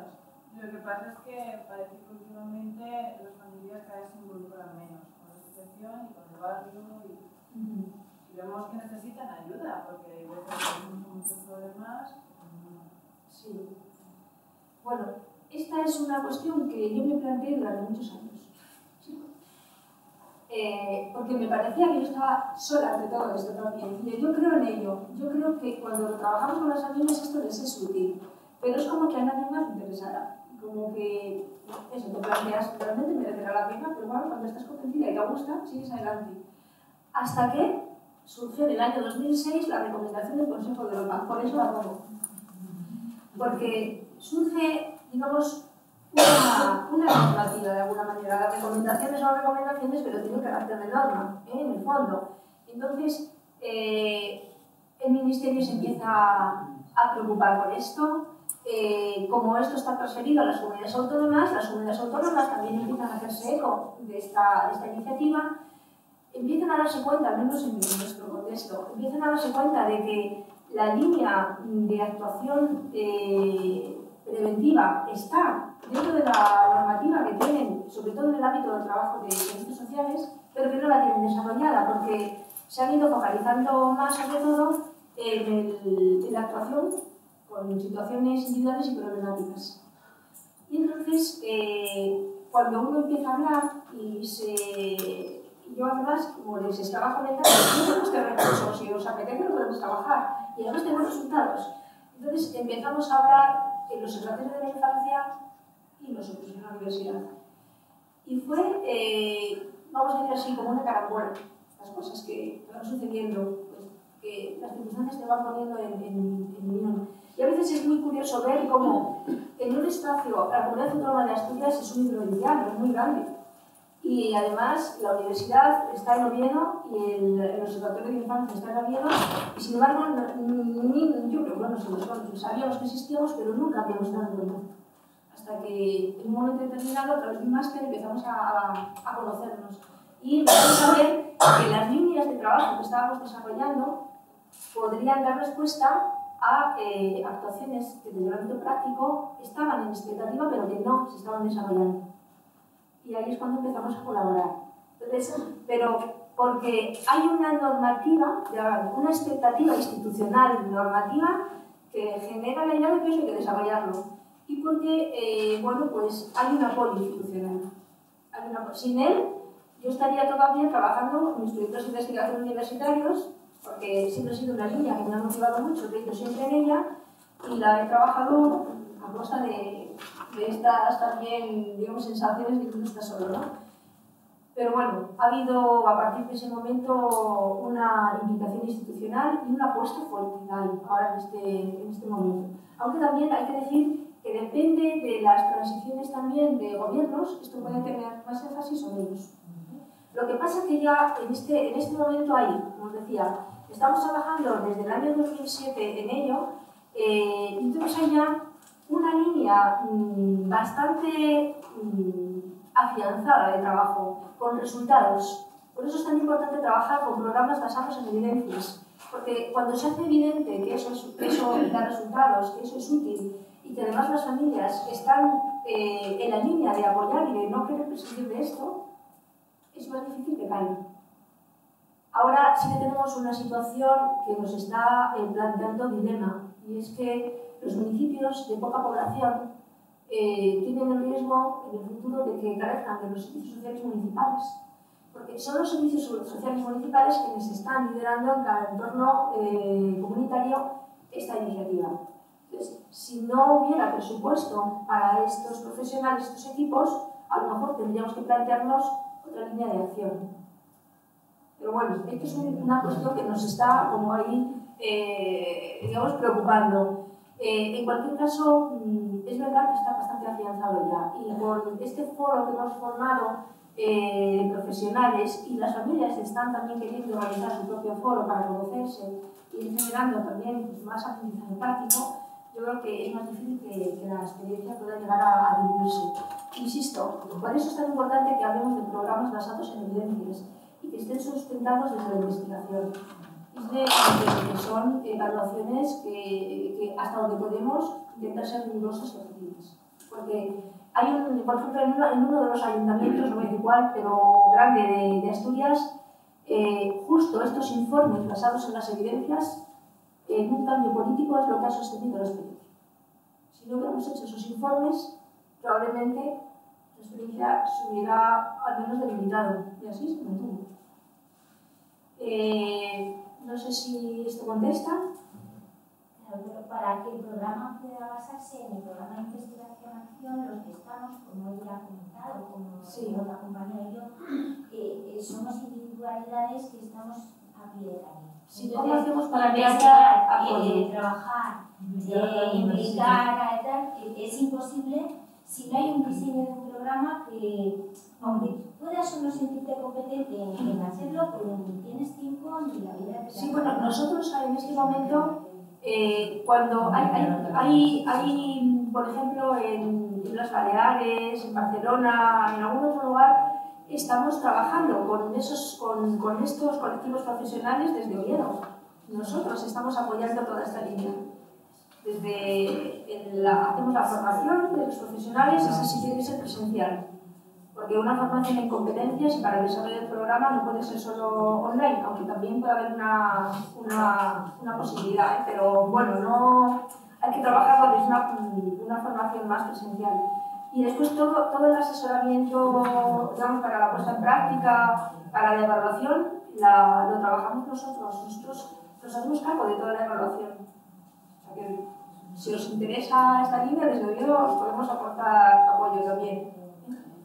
Eh, pero claro, mmm, es interesante que haya un apoyo institucional. Es, es interesante que haya un apoyo institucional. Bueno, y en cualquier manera, como hemos hecho muchas veces, decimos, como pasa con las familias, ¿cuántas vienen? Si es que a lo mejor vienen muy poquitas. Bueno, pero si esto es una cosa que a lo mejor no sabían que existía, no saben muy bien qué es, aunque se lo hayamos intentado difundir, si vienen cuatro, trabajamos con cuatro, pues sí, vamos a trabajar con cuatro. Porque si les gusta y ese es útil, esas cuatro ya nos van a ayudar a difundirlo. Y así hemos empezado desde el principio. Y ahora tenemos grupos donde tenemos que poner lista. O sea, no podemos abordar todo. Y en otros grupos no, en otros grupos, porque son áreas municipales de ámbito rural, pues sí que hay muchas familias, pero es porque tampoco puede haber más. La, la cuestión es, ¿trabajamos solo cuando hay muchas? Yo mi idea siempre ha sido, no, trabajemos aunque sean pocas.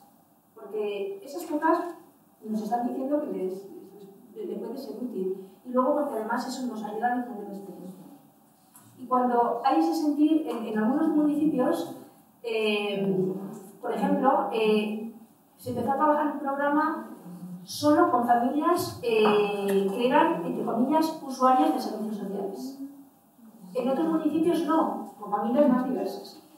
Y ahora mismo, en, en ese municipio, que ahora es un municipio de mucha población, se ha ido extendiendo la, la, la iniciativa y las familias que no son necesariamente usuarias de servicios sociales se están acercando a ese ayuntamiento a decir si ellas no podrían también participar que se va generando la demanda desde la base y lo solicitan al municipio. Entonces el municipio tiene que pensar, realmente podemos aportar, podemos aportarlo y se, van, se va incrementando. Entonces yo creo que eh, a veces es muy costoso y, y yo, esto que estoy planteando no es de ahora ni antes de ayer. Os estoy hablando de una iniciativa en la que yo empecé a trabajar a finales de los años 80 y toda la década ya de los 90 hasta ahora.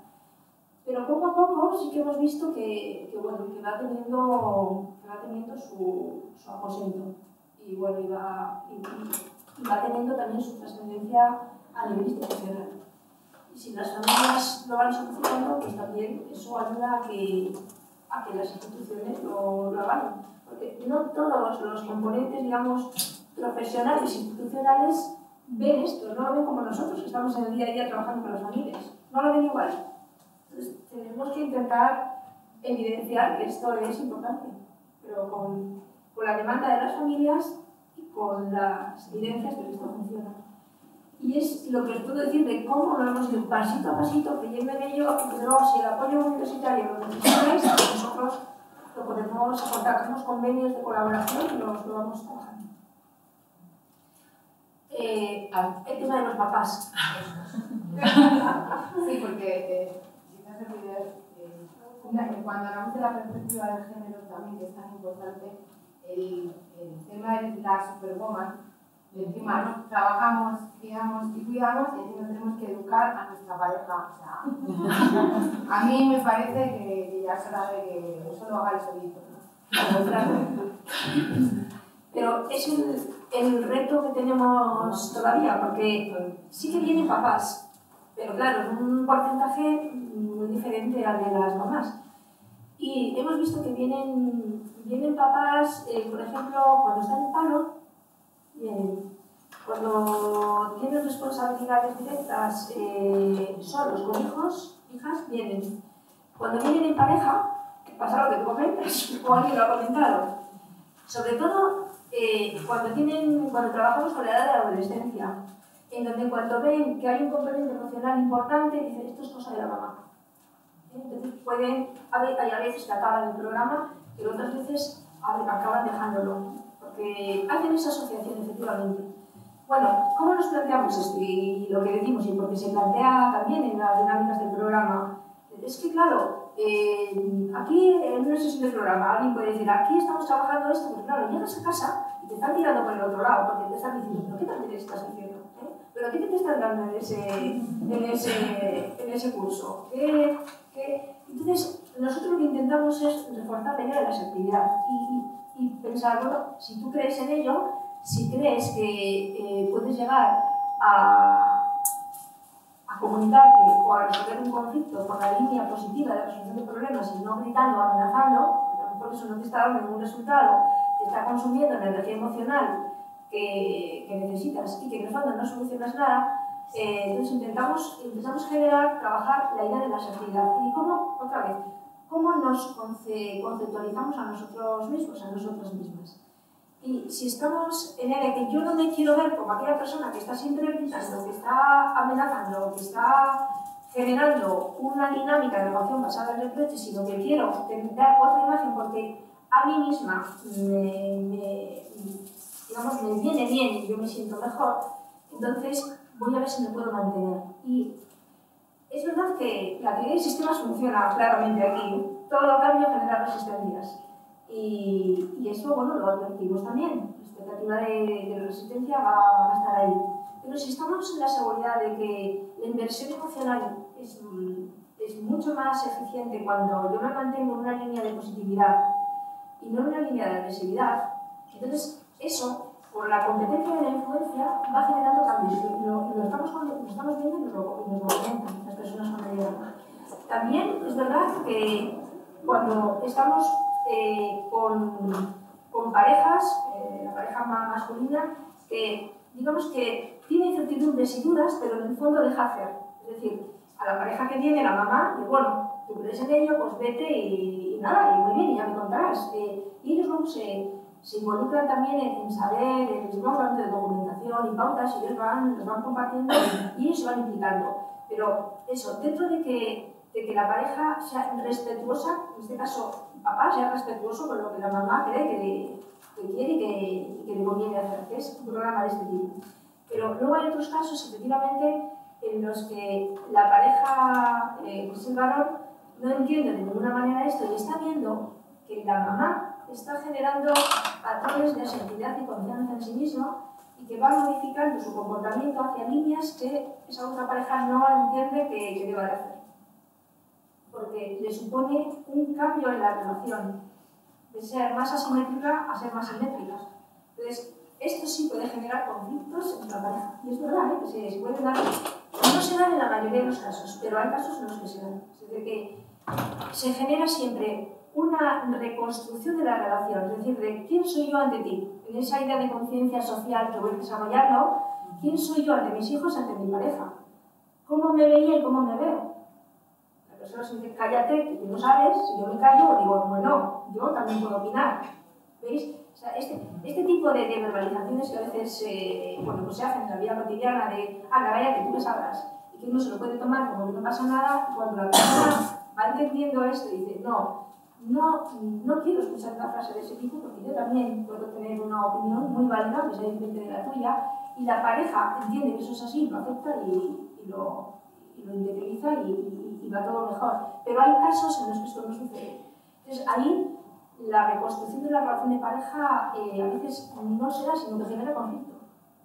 Genera conflicto importante hasta el punto de que alguna, alguna persona se puede plantear si le merece la pena seguir con una relación de pareja de ese tipo. ¿no? O sea que eso también puede suceder.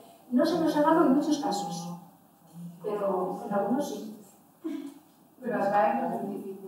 Atraerlos, yo lo que, lo que estoy viendo es que eh, me parece que mmm, quizás nosotros desde, desde nuestra organización, de cómo planificamos el programa, yo creo que lo que vamos a hacer, y lo que estamos pensando que vamos a hacer, es organizar el programa en un principio, como lo hemos dicho antes, solo para papás, varones. Solo para ellos. Para ver qué funciona. Porque ya, ya hemos experimentado cuando vienen juntos que los temas emocionales y el tema de educación de los ojos está asociado a género. Por lo tanto, eh, hemos pensado, porque sí nos han respondido cuando hemos hecho la evaluación, sí que nos han colaborado. Entonces, eh, pero cuando les hemos pedido explícitamente la colaboración a ellos, no a través de ellos, a ellos. Y entonces estamos planteándonos eh, trabajar solamente con, con varones, para intentar nosotros aprender cómo funcionan las cosas. Pero a lo mejor necesitan una aproximación un poco diferente. Entonces vamos a intentar aprender de esto, que no lo hemos hecho todavía. Entonces, para ello estamos pensando que vamos a necesitar también eh, facilitadores profesionales que sean varones. No, no solo eh, la mujer, porque, porque si no a lo mejor tampoco van a tratar bien. Entonces ahora mismo sí estamos trabajando, estamos intentando construir esta, esta línea, a ver si próximo curso académico podemos plantearlo. No sabemos cuántos vendrán. Pero, Pero lo hay que. Si tienen cuatro, pues con cuatro empezaremos y Con uno vale. Con uno claro, Que empiecen por el tuyo, ¿no? sí, sí.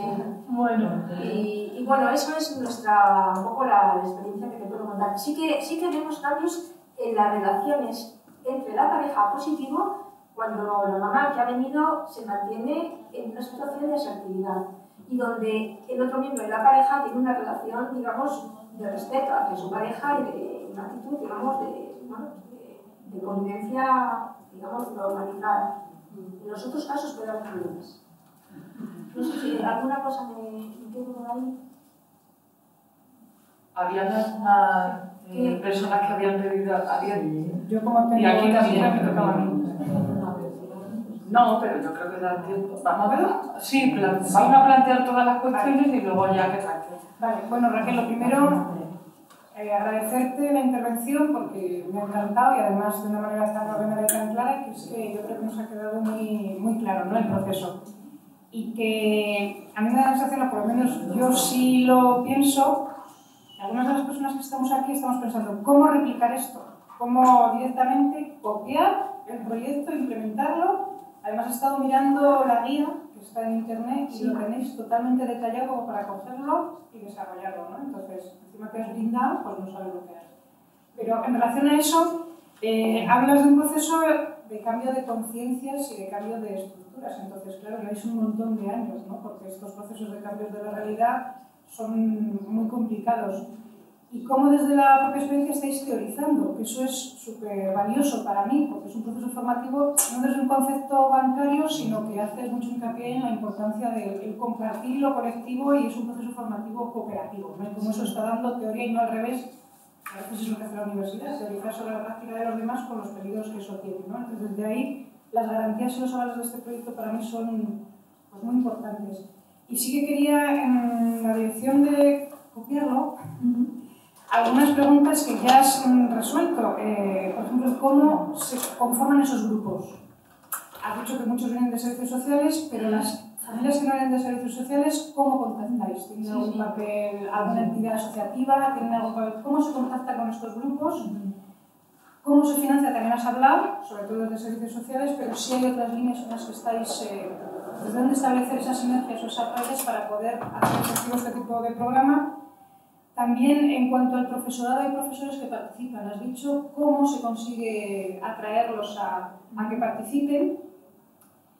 Y eh, los profesionales para que se formen e implementen esto, has dicho que es una formación presencial, ¿no? que la impartís desde... Bueno, pues tener más datos de todo esto, cómo poderlo tener en cuenta para poder a lo mejor participar o empezar a establecer algún tipo de... Sí, sí. Pues eh, en la medida que hemos ido... ¿Algunas preguntas? Bueno, como, como planteamos todas las preguntas ¿no? que había, que eran dos personas yo, aquí. Yo en realidad era un poco en la línea de lo que ella ha dicho, o sea, casi, pues, si respondes a ella era un poco el acceso al programa, y tú sí querías. Un poco la línea de que muchas veces, como últimamente cuando se dan las escuelas de padres, que una llamada de padres, porque madres, que bueno, eh, y que siempre va la gente que más participa, a veces es la que menos lo necesita, entre comillas, ¿no? porque es la que está más interesada, etcétera, ¿no? Y cómo mmm, se hace un poco lo que decía ella, si es de servicios sociales, también la normalización, yo creo que por no repetir, creo que si respondes a ello, pues tú querías plantear Sí, bueno, yo felicitarte y nosotras tenemos un centro de salud mental para mujeres que trabajamos en esa línea, en Madrid, que es el espacio de salud entre nosotras. Y llevamos 25 años en esta dirección de trabajo y coincido totalmente contigo. Nosotras lo que tenemos es mujeres que tienen problemas de género. Eh, llamamos depresión de género a esto y trabajamos en esta línea. ¿Qué nos está pasando? Lo que has contado. Las mujeres se empoderan, hacen un trabajo emocional enorme, se hacen unas mujeres muchísimo más asertivas y estupendamente. Pero hay dos posibilidades, o que luego cambian todo el entorno o que se separan. Así de claro es lo que has explicado. Entonces yo ante esto lo que hacíamos era a los compañeros, a las parejas, mandarles con bonino para que también se empoderaran de otra manera, se les empoderaran en lo negativo, ¿no? Bueno, pues luego hablando con ellos, pues resulta que dice, sí, me vienen a las primeras sesiones, pero en el momento que tienen que quitarse de poderíos malentendidos, se nos van y nos quedamos con dos. Entonces, esto yo creo que es el gran reto de trabajar ahora con los hombres para que se impliquen, porque se está empezando a trabajar, como se decía ayer, a una hora que es tardía, que es cuando se separan en las custodias compartidas. Y eso no puede ser, tiene que ser empezar antes para que sea una paternidad verdaderamente buena y una maternidad que las mujeres ya están creciendo muchísimo. Entonces, solamente el lenguaje hay una cosa que al oírte dicen las mujeres, las familias solicitan. Y yo decía, no, las familias no, es la mujer, la madre, la madre, la madre. Y claro, eso lenguaje invisibiliza lo que es. Entonces vamos a lo mejor a decirlo y luego a formar a los padres que son los grandes ahora ausentes todavía de esto. Pero vamos, totalmente de acuerdo con todo lo que has dicho, me parece fenomenal. La última cuestión allí ya y, cerramos, la contesta y cerramos, había una palabra de vida allí. Bueno, muchísimas gracias por, por tus aportaciones, Raquel. Eh, mi pregunta es muy breve y muy directa. Eh, yo también trabajo con educación en valores y me gustaría, porque he visto que trabajáis con valores a la hora de, de promocionar toda esa educación en la parentalidad y me gustaría saber cómo, qué metodología utilizáis para ponerlos en práctica y si tiene, quiero decir, si les llega, ¿no? Porque a veces es muy complicado. Yo normalmente esa educación para valores la hago con niños y los hacemos a través de dinámicas y de juegos, que suele ser más fácil, pero no sé con adultos cómo, cómo trabajáis. Gracias. Bueno, a ver si no se me olvida nada, porque me muchas cosas. Eh, comentabas eh, cómo replicar esto, ¿no? Y cómo ponerlo en práctica, cómo copiarlo. El programa, el programa está disponible en internet porque está editado, está publicado por el, lo he recibido del ministerio y está PDF. Eh, y es verdad que cuando uno toma el programa eh, lo ve totalmente pautado. ¿eh? Casi, según lo leo ya lo estoy viendo, ¿eh? ya me estoy viendo. Es un programa para profesionales para llevarlo a, a las familias. Y está todo muy pautado, todas las sesiones, cada sesión dura dos horas, está hasta pautado el tiempo que podemos dedicar a cada, dentro de esas dos horas a cada, a cada actividad. Sin embargo, eh, siendo esto así, es importante la formación presencial también. Es fundamental, porque cada persona, y cuando tomamos un documento escrito, pues lo vamos a leer mmm, de esa manera que, que lo está. Y no sabemos, no vamos a saber si realmente lo que estamos interpretando de algo que se está diciendo es exactamente lo que el programa quiere transmitir. Y luego, también, eh, independientemente de esto, es porque el programa trabaja con metodología grupal, como decimos, y necesitamos ensayar como profesionales también la metodología grupal. Entonces, online es muy difícil hacer esto. ¿Eh? Por mucho que nos pongamos a comentarnos en un foro, en un foro cosas, no, no, no se puede hacer. Es fundamental evidenciarlo uno mismo, primero, evidenciarlo uno mismo, porque son competencias emocionales. Y entonces, es lo que decimos, si es que la persona que se está formando en el programa, que me está sirviendo tanto a mí como, como persona y como profesional, para luego poder llevarlo a, a otras personas. Eh, y porque esa metodología de, del grupo, pues no la podemos hacer, eh, digamos, en, en, la, en, la, distancia. Entonces, eh, sí que en, en, Asturias, el nivel de la, la, formación que hacemos de profesionales, esto no lo contaba antes, pero ya que salió la, la, la, cuestión, la hacemos bastante, eh, bastante profundidad. Hay tres niveles de formación. El primer nivel es online, porque es una, es una formación basada en, en, la idea de lo que es la parentalidad positiva, en lo que es la metodología de programas y en ir introduciendo un poco lo que es este programa. Pero luego está eh, el nivel 2 que llamamos, que es ya trabajar presencialmente todas las herramientas del, del programa, ¿eh? digamos, vivenciarlas y ver cómo se llevan a cabo. Y con esto, mm, pues me da contestar la pregunta que, tú me hacías ahora, porque el cómo trabajamos es con una metodología que es experiencial y sobre todo muy, muy activa, donde trabajamos con casos de la vida cotidiana que el programa propone, que, son básicamente situaciones que hemos visto muy frecuentes en las dinámicas familiares para que luego cada familia identificándose con lo que es esa, digamos, esa, esa idea de interacción pueda exponer sus propios casos. Y también utilizamos mucho la dramatización, porque claro, eh, si queremos trabajar eh, la comunicación, los procesos de comunicación, emisor, receptor, el contexto, el lenguaje gestual, todo el lenguaje paraverbal, cómo se transmiten valores, ¿eh? estilos de, de, de, actuación, actitudes. Eso lo tenemos que ver en acción. Si no lo vemos en acción, no lo podemos ni siquiera analizar y menos debatir. Visualizar, eh, quizás menos. Ese es el proceso que, que, vamos a trabajar. El programa es muy dinámico, muy, muy de hacer, muy de hacer, y entonces en ese hacer luego se analiza y se comparte en pequeño grupo para luego debatir en gran grupo. Es la metodología de, grupos. Y para esto necesitamos la presencialidad, en, esa, en ese nivel 2. Y cuando ya ese nivel 2 se ha impartido, pasamos al nivel 3. Porque las personas nos dicen, bueno, más o menos ya tenemos bastante claro cómo, cómo funciona, pero me da un poco de, me da un poco de temor poner esto en, en las familias, en grupo, porque no lo han hecho antes. La metodología grupal hay pocas personas que la hayan utilizado. Entonces, para ir, eh, digamos, diluyendo ese pequeño temor, hemos constituido lo que llamamos un practicum. No es que sea un practicum como el de los másters, ¿eh? pero bueno, a nuestro nivel de formación un practicum. Y consiste en que todos aquellos municipios, como veis, os puse un mapa de municipios, pues aquellos profesionales, aquellos profesionales que ya eh, lo están implementando durante años eh, familias en el municipio van a recibir como, digamos, ayudas en prácticas o en prácticas a, a esas nuevas personas que cada año se forman.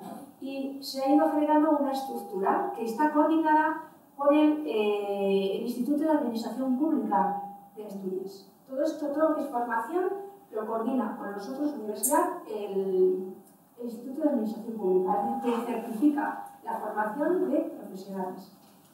Esto no lo certifica la universidad, sino que lo hace este instituto. O eh, a veces en colaboración con el propio observatorio de.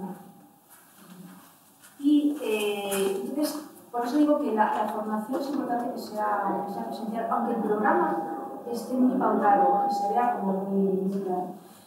A la hora de ponerlo en práctica, lo que hacemos es son convenios.